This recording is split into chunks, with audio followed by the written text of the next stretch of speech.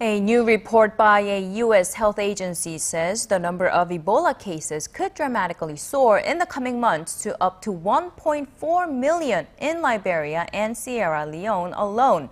The U.S. Centers for Disease Control and Prevention said the estimate is partly based on the premise that Ebola cases are vastly underreported.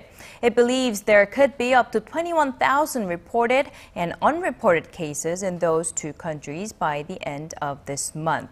The World Health Organization says there are an estimated 5,800 infections and over 2,800 deaths in West Africa.